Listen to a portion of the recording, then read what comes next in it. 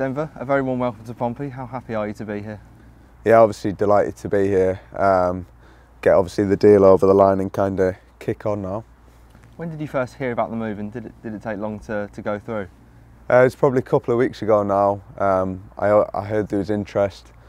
Um, didn't know how kind of concrete that was, so kind of just carried on as normal and then kind of started to get stronger and stronger. Um, and then I spoke to the manager at some point last week. Um, and he obviously expressed he wanted me here and wanted me to come and play. So fr from that point, I was kind of, mine was made up to kind of come here and play. You've been at Sunderland since you were eight years old. Why is now the time for the change?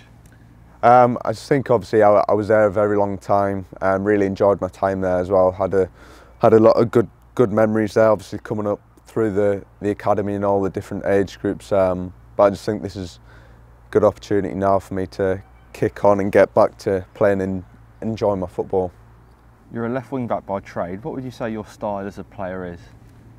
Uh, yeah, so I've played a lot of my career left wing back and left back as well. Um, I think obviously uh, as a defender, the, the, the first thing is you obviously have to defend individually and as a team, but I really like to get forward and obviously try and help the team create and score goals as well.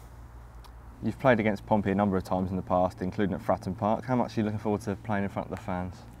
Yeah, really, really excited to play there. Um, like you've just touched on, obviously, played there kind of on on the away team, and it's a hard place to go, and the kind of it's, it's kind of one of them one of them grounds where you probably don't look forward to going to um, as an away team. So to obviously play there as a ho home player will it will be good and some I'm looking forward to as well.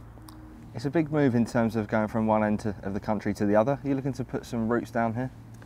Yeah, definitely. I think obviously you can't really get much different from that far up north to this this far south. Um, but yeah, I think that the change will be good for me. It's kind of um, a, a, big step in, in, terms of, like you've just said, um, you're not you're not kind of just going from a, a, club in the north to another club in the north. It's it's a long way away, but I think that will probably help me just focus and get down to the main thing, which is obviously playing games. And for those Pompey fans that haven't seen you play, what can they expect from you? Uh, I think I'll always give 100%, um, no matter what. I think could probably see that in the games that I've played against them. But yeah, I'll give everything, everything for the club and everything for the shirt, and help the team be successful. And obviously, we've got half a half a season left. What are your aims for the remainder of the campaign? I think really just try and win as many games as possible. Um, there's 20 odd or so games left, so I think in that period anything can happen. And at this stage of the season, if you if you can go on a on a good run and hit some form and pick up some momentum, I think really you you can find yourself in them playoffs, and then ultimately you want to you want to get promoted from there.